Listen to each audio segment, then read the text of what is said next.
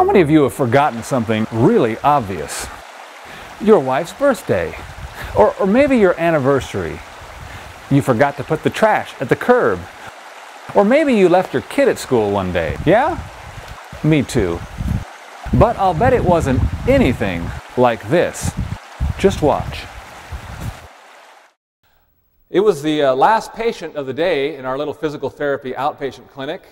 And our boss, Gavin, told us that he would treat the last patient.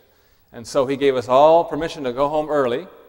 He took this uh, patient who was a policeman and he took him in and took him into one of the treatment rooms. And so he laid him down on a mat, uh, put a hot pack on him and some electrical stim on him, and uh, set a timer for 20 minutes. And then he left him and said, I'll be back and when the timer goes off. And then he went back into his, uh, his uh, office to do his charting for the end of the day. And when he was finished in about 10 minutes, he finished his charting and put the books away, turned the lights off. He went out the door, locked the physical therapy clinic up, and went home. He forgot the patient. Tonight, we're going to be specifically talking about commandment number four.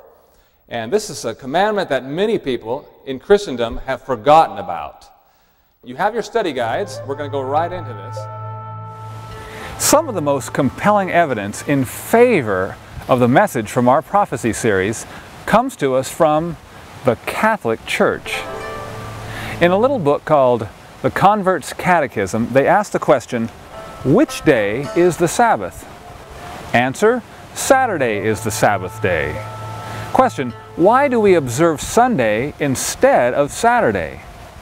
Answer, we observe Sunday instead of Saturday because the Catholic Church transferred the solemnity from Saturday to Sunday.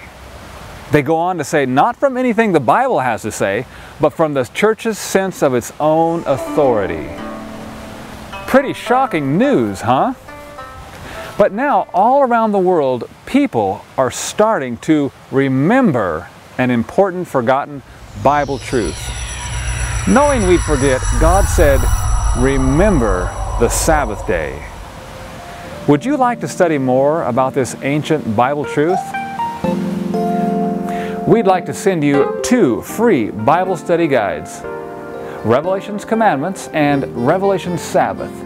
Just call or write to Desire Media and ask for free offer number 114.